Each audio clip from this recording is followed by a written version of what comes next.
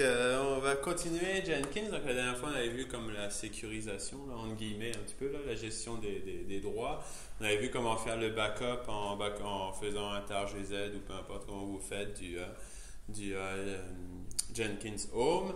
Donc, tout est en texte. Euh, là, donc, maintenant, on va voir la partie de l'intégration avec GitLab et la mise en place de Slave. Donc, au lieu de builder tout sur le master, de pouvoir distribuer, parce que, bon, pour qu'il y, ait- une charge distribuée, et aussi pour permettre que si vous avez des, euh, applications qui doivent être exécutées sous Windows ou SCO ou whatever, euh, de permettre d'avoir euh, des architectures différentes, même du 32 bits ou du AMR, là, ARM, en tout cas d'autres types de processeurs, de pouvoir euh, avoir euh, cette euh, flexibilité. Mais avant de commencer ça, on va avoir donc euh, la question de GitLab. Euh, si on avait vu quand je faisais l'édition, donc euh, quand j'écrivais mon texte à l'intérieur de, du Jenkins, là, donc dans la petite boîte du build, là, ben j'avais pas Vim. Fait dit, c'est poche. Tu vas avoir Vim dans la vie. là. donc, afin d'avoir un contrôleur de révision, donc, euh, on va pouvoir avoir les informations de la conservation de l'historique du script qui a été modifié. On l'avait vu qu'on avait un petit peu l'historique avec le euh, job historique quand même qui était, euh, qui était là, au moins pour la configuration du Jenkins. Mais là, ça va être vraiment pour le contenu, parce que là, je fais des scripts tout petits, mais dès que ça devient volumineux, ça va devenir complexe de juste conserver ça à l'intérieur de la petite boîte. De plus, si vous avez des fichiers de configuration, on en a plusieurs. Tu sais, si on parle de Ansible, où tu aurais plusieurs playbooks, ou euh, si tu as euh, une application avec plusieurs .h et tout ça, ça, va devenir ingérable à l'intérieur de Jenkins. Donc, tu vas le coupler avec un contrôleur de révision. J'ai décidé de faire GitLab parce qu'on avait vu GitLab avant, donc je capitalise là-dessus plutôt que voir avec euh, Subversion ou Mercurial ou whatever. Donc, on va continuer là-dessus. Donc, on va pouvoir donc voir l'historique des modifications, qui quoi quand, l'utilisation des scripts en dehors de Jenkins, la segmentation des tâches pour quand il y a plusieurs scripts qui rouleraient. Ça, on va revenir un peu plus tard avec un use case. Idéalement, la réutilisation du code et de, pour pouvoir réaliser des tests en dehors de, de Jenkins. Parce que l'avantage, c'est que si tu as ton script à l'intérieur de GitLab, ben oui, tu peux l'utiliser dans Jenkins, mais tu peux aussi l'utiliser à l'extérieur pour le rouler manuellement si tu as besoin. Donc, tu- gardes toujours le même script pour faire plusieurs utilisations euh, à l'intérieur du Jenkins ou non. Donc euh, là, j'ai mis le lien de la formation qu'on avait fait sur GitLab. Euh, il y a les vidéos aussi dans le dedans de l'Internet. Je vais vraiment partir de cela avec le user et tout ça, juste pour pas avoir à tout refaire la configuration de mon GitLab. ça me saoulait un peu. Euh, donc, euh, hein, la présentation. Euh, donc là, ce qu'on va faire, bien entendu, hein, on va toujours conserver l'aspect du Docker Compose pour pouvoir démarrer notre autre GitLab. Donc, ça, c'est la visibilité du, doc- Docker Compose. Ça, ça ne change pas au niveau de notre Jenkins. La seule différence, c'est que je vais lier en fait le Jenkins avec le GitLab, qui est, dont la définition est en bas. Euh, le Apache Front, lui, il n'a pas changé. J'ai toujours le lien entre le Apache vu qu'il va envoyer les données vers le, Jenkins. Et ici, j'ai la définition donc de mon GitLab avec donc les différentes configurations qu'on avait vues lors de la session, la session précédente de formation, ainsi que le volume euh, pour conserver mes données à l'extérieur du container. Ça va pour tout le monde, ça? Ok, parfait. Je vais prendre page not found. Non. Non, non, j'ai du réseau, sinon il m'aurait pas dit page not found. Ça aurait juste fait un time-out. là. Mais c'est pas grave. Donc, euh, je vais, de toute manière, j'ai, euh, je l'ai extrait ici. Donc, je vais prendre euh, Docker Compose euh, GitLab et je vais le mettre sur le Docker Compose actuel. Je vais juste démarrer. euh, je vais juste démarrer un Docker.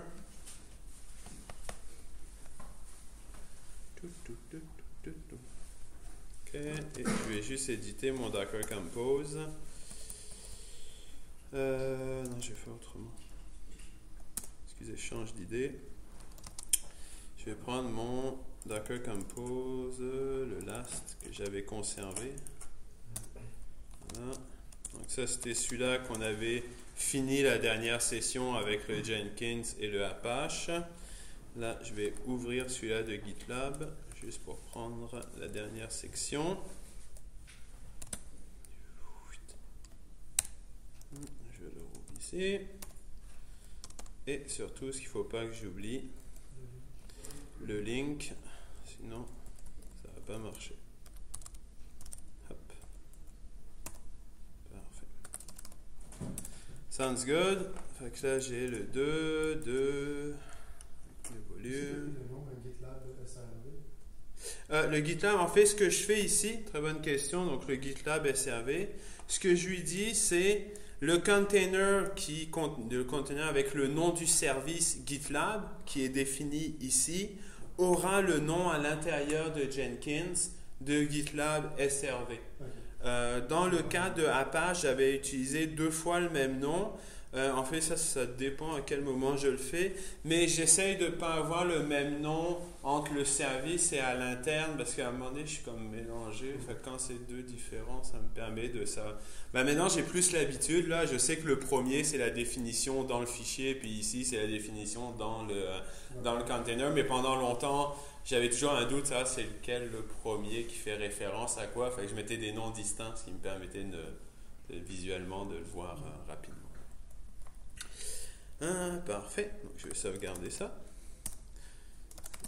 Et je fais un docker compose up -d pour le mettre en background. Parfait. Je vais juste vérifier que mes adresses IP n'ont pas trop changé. Docker PS. Donc j'ai mes trois containers, le Apache frontal, le Jenkins qui est Jenkins et mon GitLab. Inspect, je vais juste récupérer euh, ouais, l'Apache, IP, IP.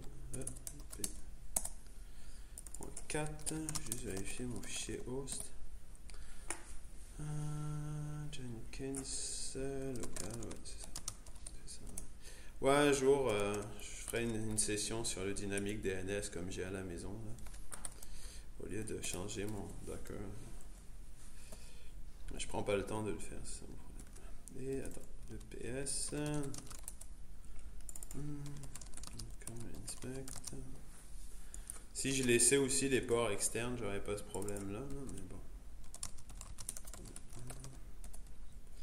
Point 2. Ok, donc ça c'est bon. Donc si je prends ça, donc là j'ai mon GitLab qui est présent. Donc avec les configurations qu'on avait vues les dernières fois. Donc euh, là j'ai les mêmes repos à, l'intérieur. Et j'ai mon, euh, c'était quoi Jenkins local, merci. en HTTPS,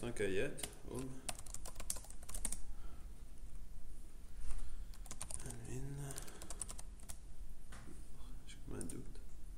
Ça prend du temps en fait. C'est bon. Avec notre tâche de démo qui était là. Donc en fait l'idée vraiment ici avec la la tâche est de changer ça pour ne plus avoir à l'intérieur de la section de build, euh, build, ne plus avoir la définition du script en brut à l'intérieur, mais vraiment qu'il aille chercher à l'intérieur de GitLab l'information et qu'il exécute ce script-là.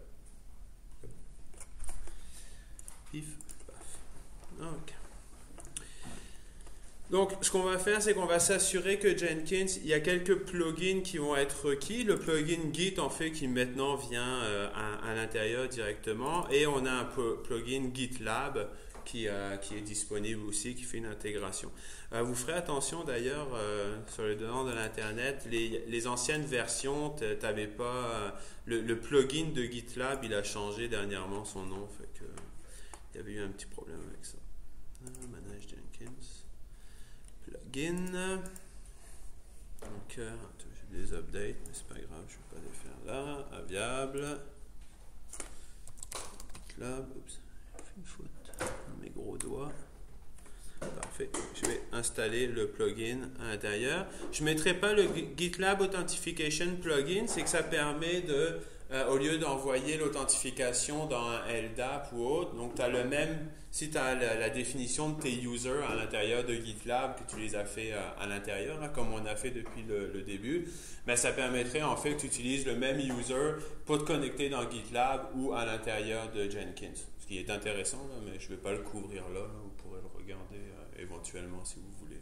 Donc, euh, c'est sûr que de plus en plus, on a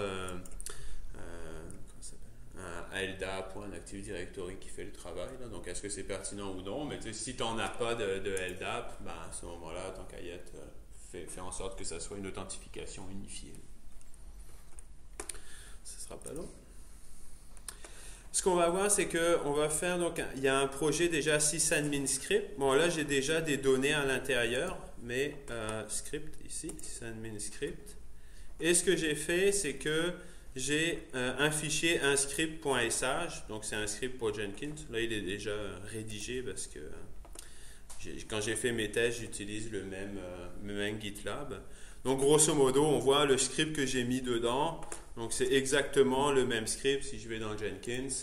Ah, évidemment, il a redémarré.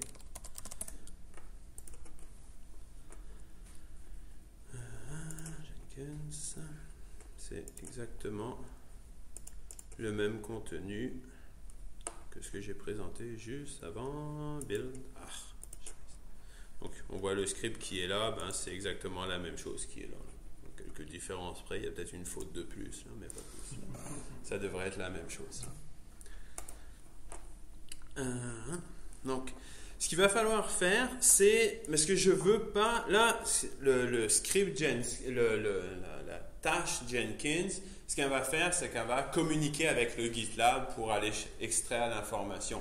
On s'entend que je ne veux pas que mon GitLab, généralement, il n'est pas accessible en anonymat. Je ne veux pas que tout le monde puisse avoir accès. Euh, donc, ce que je vais faire, c'est qu'on va créer un lien entre Jenkins et euh, GitLab pour qu'il y ait une authentification. Et ce qu'on va faire, c'est qu'on va créer un utilisateur qui aura les droits d'accéder à GitLab, qui va être dédié à cette tâche-là. Euh, on va le voir dans le use case que je vais présenter, euh, est-ce que c'est la prochaine session ou l'autre après, là, peu importe, là, qui est en train de, rédiger. Euh, mon use case que c'est, c'est, bon, je peux le montrer, et c'est tout là l'intérêt de voir avec la formation là. Jenkins, parce que tu as vu que c'est dans Git, c'est une rédaction au fur et à mesure. Là. Euh, grosso modo, ce que, le use case que je vais vous présenter, c'est avec un container Docker où en fait Jenkins, lui, va faire l'extraction du repo Git euh, pour récupérer. Il va récupérer le Dockerfile, il va faire la compilation du container pour vérifier si ça marche. Il va, réaliser des tests d'intégration à voir si euh, le container fonctionne réellement avec des unit tests. Et une fois que les unit tests sont finis, euh, si ça a tout bien marché, il va pouvoir soit pousser dans un registry ou non. Et l'avantage, et ce que je voulais vraiment, c'était que l'usager que j'utilise puisse committer après dans le euh, repo euh, Git pour pouvoir euh, mettre un tag pour pas qu'il refasse tout le temps la même job si elle a déjà été fait, etc. Donc vraiment, l'usager robot que je vais créer va aussi réaliser des modifications dans le Git. Donc ce que je voulais, c'était m'assurer que j'ai une traçabilité de qui a fait ce changement-là. Ah ben c'est le robot, c'est une tâche automatisée qui a rajouté un tag, qui a rajouté peu importe l'opération qui a été faite. Donc euh, c'est vraiment là l'idée, c'est là qu'on s'en va, juste pour vous montrer la finalité, si on peut dire. Comment? Ouais, la lumière, je n'osais pas le dire, la lumière, là, je trouvais que c'était un peu trop, mais c'est ça le, concept. Euh, donc, ce que j'ai fait, c'est que j'ai créé un usager robot. Euh, là, en fait, je lui ai laissé créer des projets. Est-ce que je vais les utiliser ou non? J'ai fait un usager vraiment régulier pour ça. Est-ce que c'était pertinent de lui laisser des projets? Je ne sais pas, mais bon. Euh, c'est sûr, je ne l'ai pas mis admin non plus à, l'intérieur.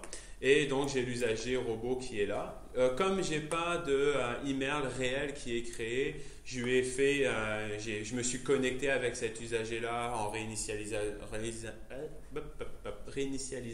le mot de passe comme on avait vu lors de la dernière formation. là, je vais me connecter d'ailleurs avec ce dernier. Quand je dis là, il est un peu déjà fait parce que j'utilise le même GitLab, en même temps on gagne du temps.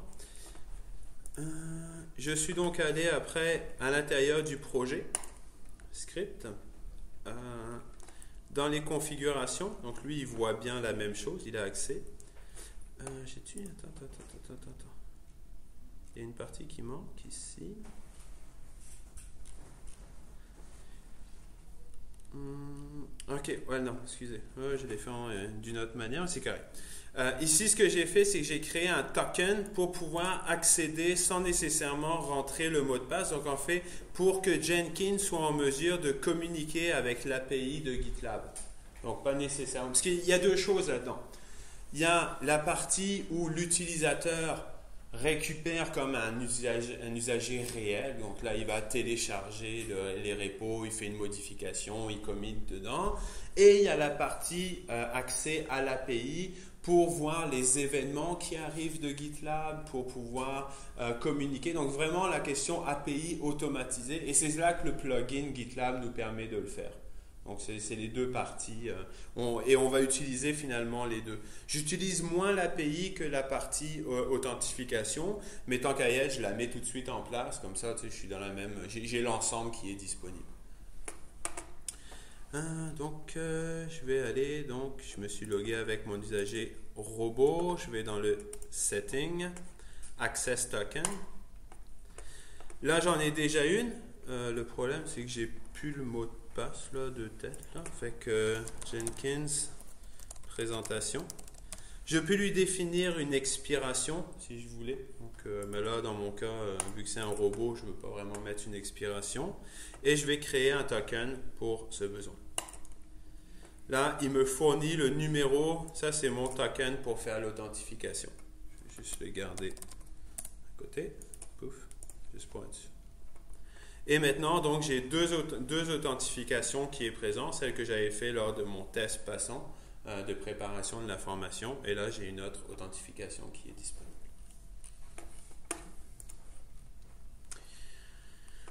Ah, ben toi, je l'ai là, finalement. J'aurais pu garder là.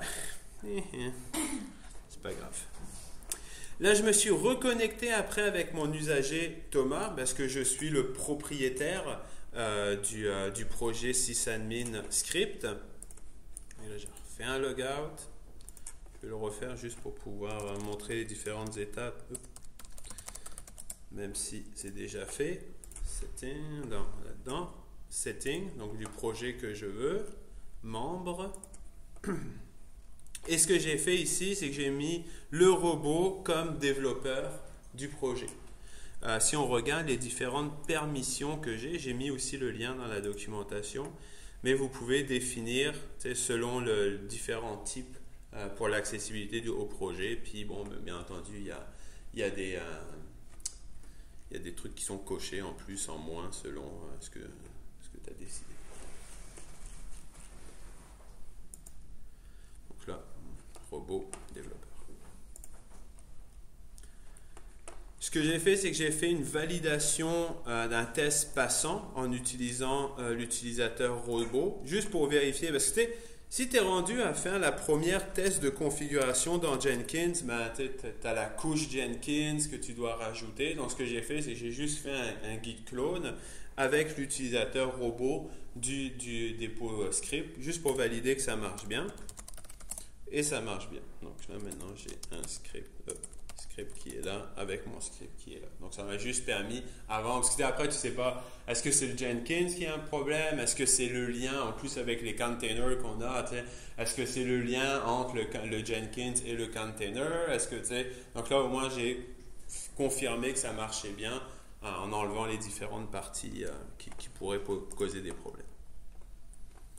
Euh, et là ce qu'on va faire c'est qu'on va aller rajouter la configuration pour GitLab avec le système de token. Manage Global Configuration.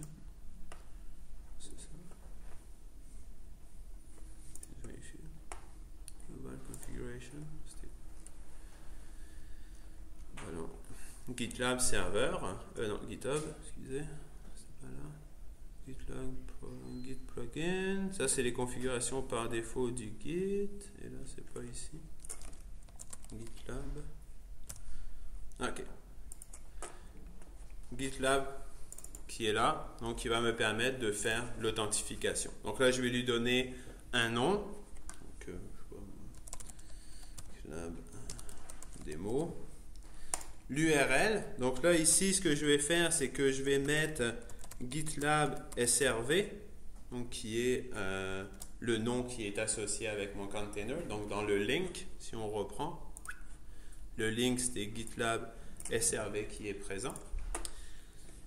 Et ce que je vais faire, c'est que ici, bien entendu, je dois lui donner un API token pour pouvoir accéder. Donc je vais faire add Jenkins. Ici. Et ce que je vais choisir ici, c'est euh, GitLab API token.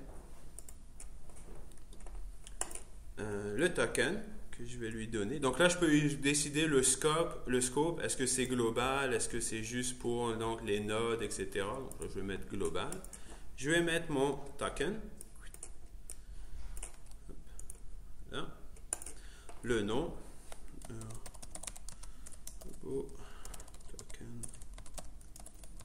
GitLab. Puis euh, l'accès par token.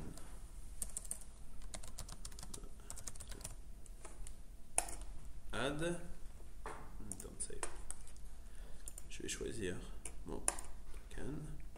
Et là, je vais pouvoir faire test connexion. Il faut que ça dise success. Success. C'est bon. Euh, comme vous voyez, j'ai un autre bouton Add. En fait, je peux rajouter plusieurs serveurs Git, GitLab à l'intérieur du même, parce qu'après, je vais pouvoir le choisir. Dans le Advanced, je ne sais plus ce que j'ai. Le SSL ignore ou le Connection Timeout, donc euh, des petits trucs euh, en guillemets de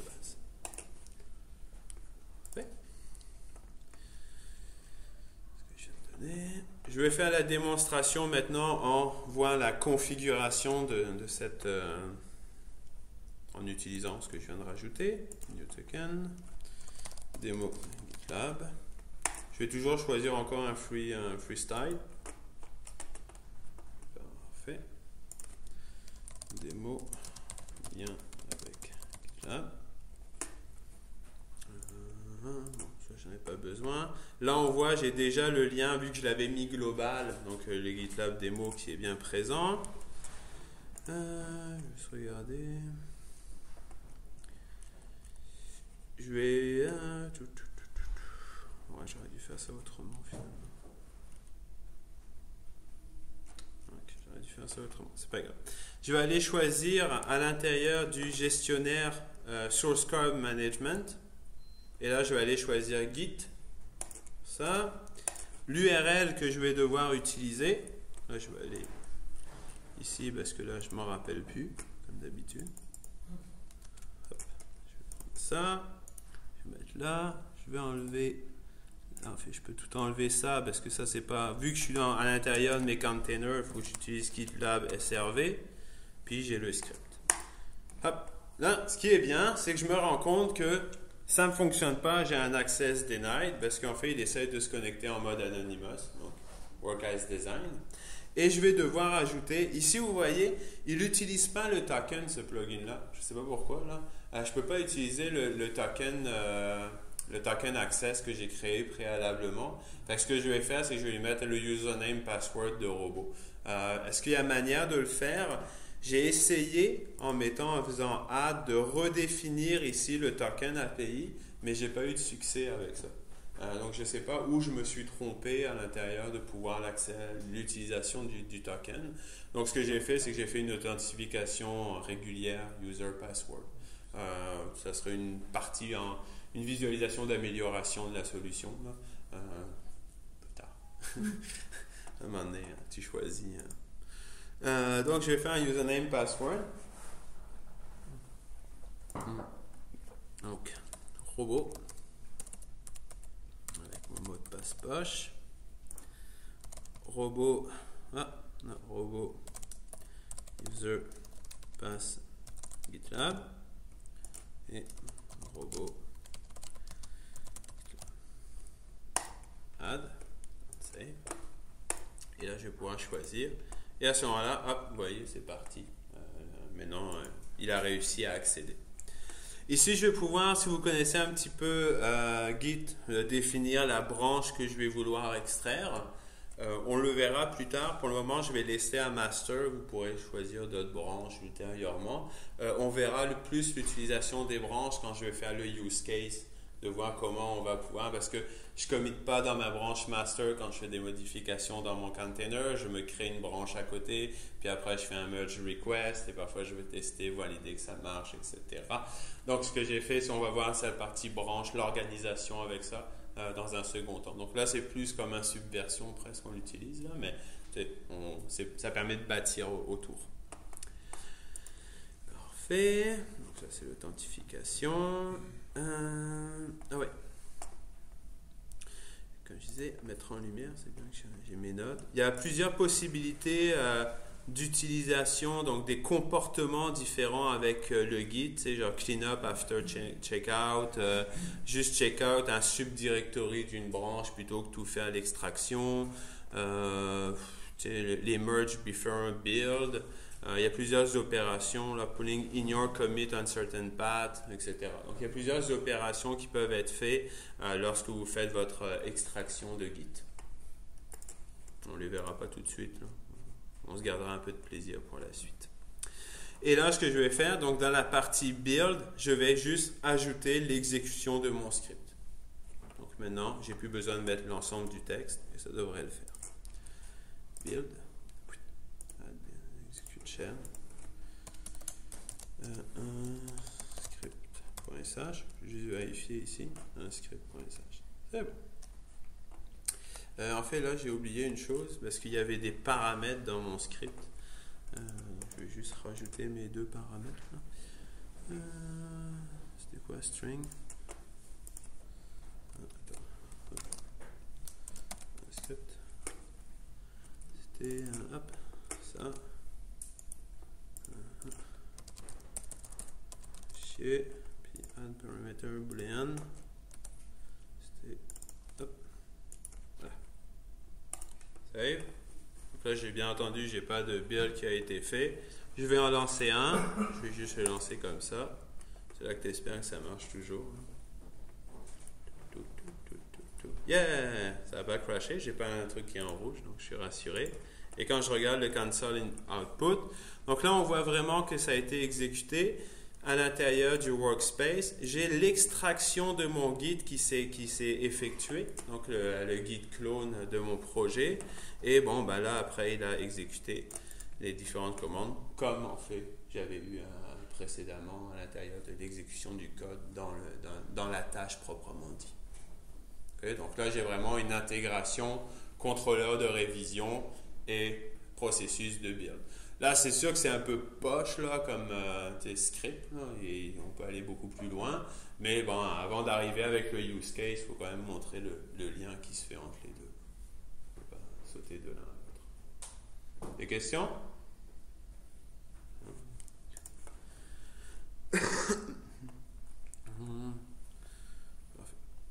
Donc, vous voyez, si vous avez plein de scripts que vous avez déjà en tant que sysadmin qui prend des paramètres, etc., sur la ligne de commande, c'est très facile de faire une interface utilisateur simple où les gens ils font juste rentrer euh, les différents paramètres à l'intérieur de champ, puis ils exécutent, puis ça remplit.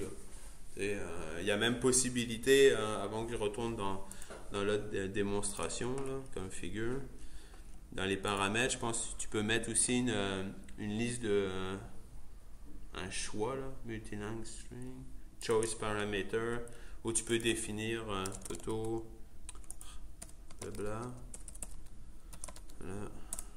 choix, sélection, save, build with parameter. Ben maintenant, j'ai une, une, liste de choix qui va être présente. Donc, euh, ça évite les erreurs humaines aussi à l'intérieur. Donc, il faut, vraiment explorer aussi la, partie des, différents paramètres qui vous est disponible. Euh, list subversion tag ou ce qui serait possible, les, les password parameters pour pas qu'on voit le mot de passe quand les gens ils le saisissent. Et je suis sûr qu'il y a une panoplie encore de plugins à l'intérieur qui pourraient permettre de faire des choses bizarres. Mais c'est plus user-friendly pour, euh, pour monsieur, madame, tout le monde utiliser quand même ça. Friday. 41. Ok, on va démarrer la préparation. Au moins pour que le container soit présent, puis j'imagine qu'on fera le lien euh, la prochaine fois.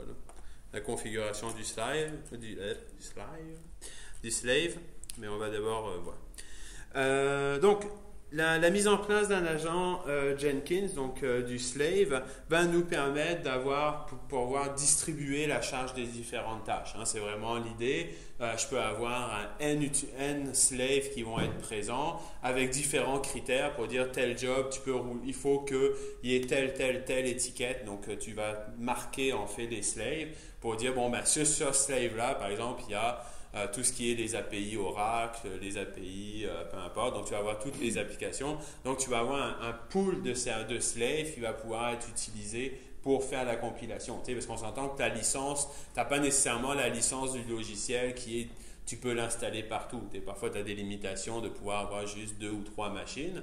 Euh, mais l'idée, c'est de réussir à faire en sorte que tous les slaves d'une même catégorie furent installés et configurés de la même manière.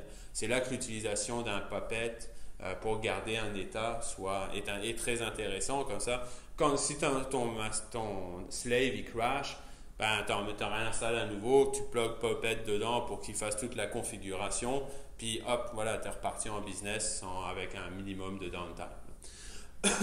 L'avantage d'avoir plusieurs slaves, bien entendu, c'est que ben, si tu en as un qui est indisponible parce qu'il y a une mise à jour à faire dessus, parce qu'il y a eu un problème réseau, parce qu'il y a eu euh, un disque dur qui a craché, ben, ça va continuer à rouler sur les autres, même si c'est un peu plus lent, mais au moins tu n'es pas en arrêt complet. Donc c'est vraiment là l'idée euh, qui va se passer. Euh, il y a plusieurs modes d'utilisation. Soit c'est le slave qui va établir une connexion vers le Jenkins. Euh, c'est souvent ce qu'on va faire sur un Windows. On va démarrer le Jenkins euh, slave. C'est tout du Java, hein. donc peu importe le système d'exploitation. Là, tu vas le mettre en service sous, sous, sous Windows, puis c'est le Windows qui va venir se connecter au Jenkins sur le port 5000, si je me rappelle bien par défaut. Et, ou alors, tu peux le configurer, comme dans le cas de Linux, de dire que le Jenkins, lui, initie la connexion avec SSH. Euh, donc, euh, ça, c'est l'avantage, c'est que si le slave il reboot, ben Jenkins, à un moment donné, il va aller se reconnecter dessus pour essayer de rétablir son lien avec son slave. Donc, ça, c'est un certain avantage là-dessus. Il y a peut-être d'autres méthodes sous Windows. Je vous avouerai que, encore une fois, c'est le plus obscur pour moi, cette partie-là. Donc, euh, j'utilise tout le temps SSH. Euh, Ce qu'on va faire, c'est que donc, on va mettre un slave, la communication se fera via SSH, on va utiliser une clé SSH pour établir la connexion. Ça va être un usager dédié, encore une fois, donc ça va nous permettre de segmenter les droits. Si l'usager a besoin de plus de droits, on va pouvoir lui donner les droits sudo, bien entendu, appropriés, mais on ne va pas lui permettre d'être root directement des questions de sécurité. Parce que je peux mettre n'importe quel script à l'intérieur de mon Jenkins pour faire crasher la machine. Quoi. Donc au moins, en segmentant, en ayant un usager plus bas avec les permissions sudo, même s'il aurait sudo al, mettons, ben, je, pourrais, je verrai ce qui s'est passé. Donc la traçabilité toujours en corrélation avec la tâche. Euh, et comme je dis, l'important c'est que les applications soient installées ce que je vais faire, euh, là c'est sûr qu'on va utiliser un container, ce qui change plus ou moins, mais c'est pas grave. Je vais créer une clé SSH euh, pour faire la communication entre le master et le slave. Donc, je vais hein. TMP. TMP. Je vais créer la clé. Je vais l'appeler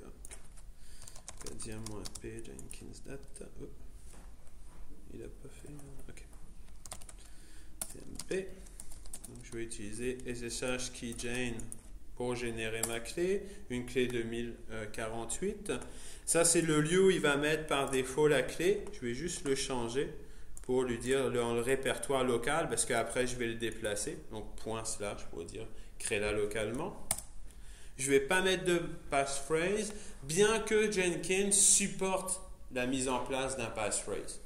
Pourquoi je ne le mets pas? Puis ça, c'est, je vais te dire Honnêtement, c'est une erreur, mais c'est parce que normalement, je ne devrais pas utiliser cette clé pour mon usage, mais dans la réalité, je, l'utilise de temps en temps pour avoir, avoir accès comme Jenkins il a accès. Quand je veux avoir des trucs automatisés sans passer par Jenkins, ben, ça me permet pas nécessairement de saisir un mot de passe. Mais si on, ça, ça dépend de votre organisation. Idéalement, ça serait de mettre un mot de passe à l'intérieur de cette clé juste pour s'assurer qu'il y ait une double authentification. il y a les bonnes pratiques, la réalité, puis l'entreprise. Je vais juste pas. Donc là, il a généré la clé. si je fais un ls, donc j'ai ma clé publique qui est présente. Cette clé publique va se retrouver sur les différents slaves. la sécurité n'est pas grave parce qu'elle est publique l'ensemble de ma sécurité, surtout parce que je n'ai pas mis de passphrase, se trouve dans ce fichier-là qui, contient la clé privée. Euh, donc, euh, ce que, cette clé-là, je vais la déplacer après. Ce que je vais faire, c'est que je vais créer un container pour, euh, pour Jenkins, pour que pour qu'il soit disponible euh, parce que j'ai pas une autre machine. C'est sûr que normalement, tu crées pas un container sur la même machine du master. Il n'y a pas vraiment d'intérêt là, mais c'est pour juste simuler la communication avec d'autres machines. Euh, euh, ça peut être quand même intéressant si vous avez une grosse machine puis vous voulez pas avoir mettre en place un puppet qui va faire l'ensemble des configurations du Slav, de tout le temps utiliser des containers. c'est ce qu'ils font Riot Games.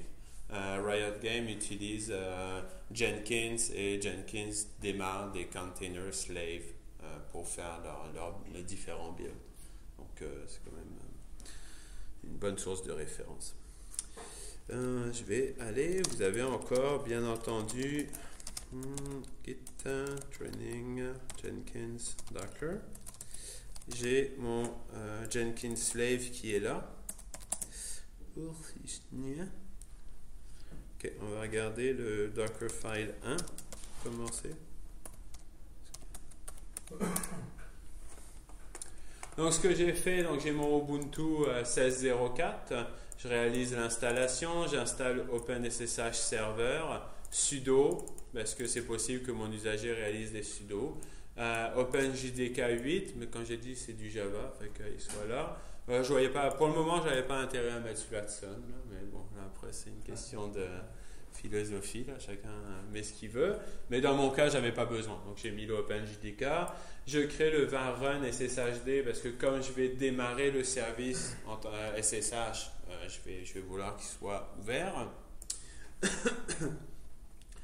le, petit changement, parce que le, PAM par défaut du SSHD euh, va bloquer l'accès. Donc c'est pour ça qu'il y a un petit SED. Euh, hein, on aime ça, SED dans les Dockerfiles comme vous pouvez voir. Euh, bon ça c'est du détail. Et ce que je fais, c'est que je vais créer un usager Jenkins Boat. Bon là j'ai mis le mot de passe Toto parce que ça avait comme plus ou moins d'importance. Après ça, ça peut être changé. Et ce que je fais, c'est que je rajoute cet usager à l'intérieur du groupe sudo. Puis je lui donne les permissions, le shell bash pour faire l'exécution. Je crée bien entendu euh, le répertoire euh, Jenkins Boat et ici, je, je change les permissions pour que pas que j'ai des problèmes de permission quand je vais le démarrer. Je copie le fichier conf key. On va le regarder. Conf key, qui est ma clé euh, publique que j'avais définie. Donc vraiment une configuration SSH, j'allais dire, somme toute normale. Je change les permissions parce que sinon, quand je vais essayer de me connecter, il va me dire que je ne pourrais pas me connecter parce que je suis obligé d'avoir un 7.0.0. J'expose le port 22 si requis et je démarre le service SSHD en foreground parce que vu que c'est un container, je veux pas que ça marche? Ça va? Normal D'habitude? Parfait. Un sur le doc. Vais juste le copier pour être sûr. Je pense qu'on va juste le. Parfait. Là, ce que je fais, c'est que je vais, à l'intérieur du Docker Compose, je vais rajouter à Jenkins le lien avec le Jenkins Slave. Et ce que je vais faire, c'est que je vais rajouter la définition du Jenkins slave à l'intérieur. D'accord? Parfait. Je vais juste faire ça. Compose. Ça va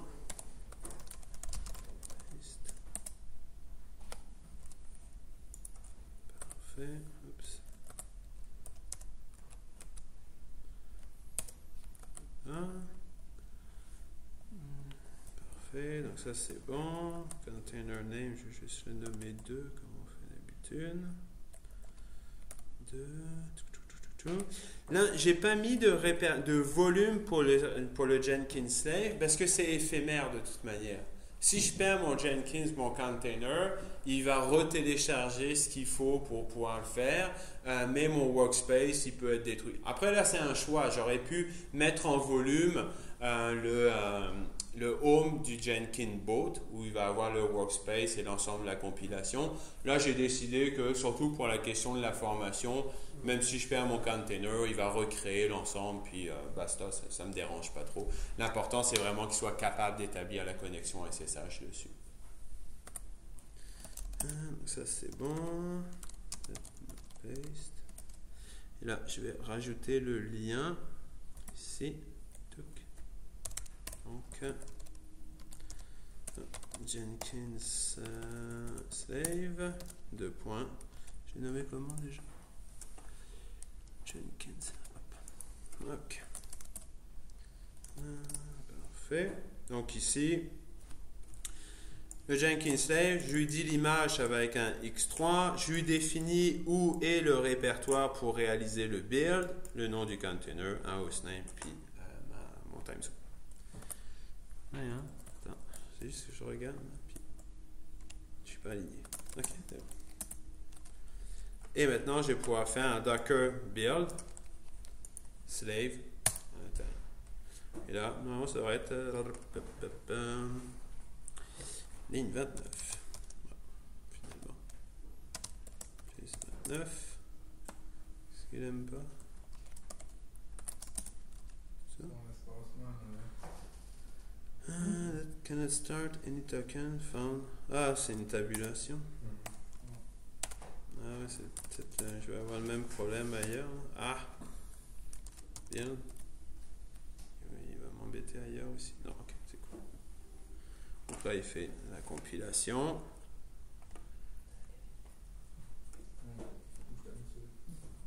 Donc là, success, il m'a créé le Jenkins build avec le tag latest à l'intérieur.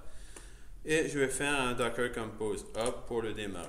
Euh, je suis pas sûr que ça va marcher, après, mais bon, c'est pas grave. Donc, il refait le Jenkins Slave, il recrée le Jenkins parce que maintenant j'ai le link qui est là, donc normalement ça devrait être un, et lui dit il est up to date, donc il n'a pas besoin de faire aucune gestion dessus. Euh, est-ce que je m'arrête ici Ouais, j'ai vu 54, je vais m'arrêter ici. Euh, je vais juste vérifier une chose.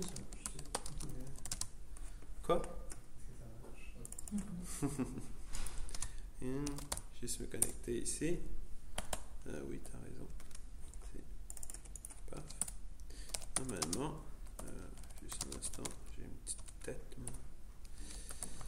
Je vais nommer le lien Jenkins S. Ok, cool. Donc le lien en fait marche. Donc moi Jenkins, mon container Jenkins est bien en mesure de communiquer. Là, je ne dois pas avoir telnet. Ok, j'ai SSH. Donc on va juste visualiser. Euh, non, c'est pas ça, excusez.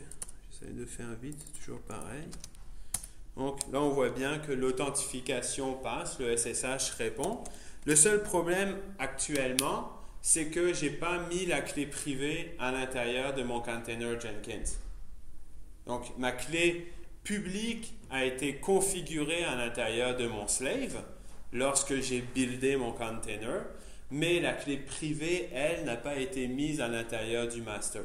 Donc, l'authentification euh, right true, là, ne hein, va pas fonctionner dans le cas présent. Et on verra ça à la prochaine séance. va? Bonne journée.